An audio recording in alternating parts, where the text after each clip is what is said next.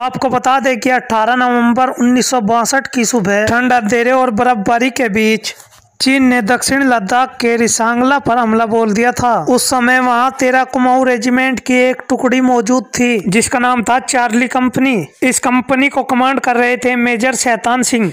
इस समय जब भारतीय सैनिकों की गोली खत्म हो गई थी, तब भारतीय सैनिकों ने चाकू, छुरी और पत्थरों का इस्तेमाल करके चीनी सैनिकों को मार गिरा था और अंत में भी भारतीय सैनिक चीन के खिलाफ खाली हाथ ही लड़ते रहे। आप यह जानकर हैरान हो जाएँगे कि युद्ध के तीन महीने बाद जब भारतीय सैनिकों के पार्थिव शरीर ढूंढे गए तो उनके शरीर देख भारतीय सैनिकों और अफसरों की आँखें भर आई थी। क्योंकि 18 नवंबर को शहीद हुए कुछ सैनिक अपनी मृत्यु के बाद भी ड्यूटी कर रहे थे।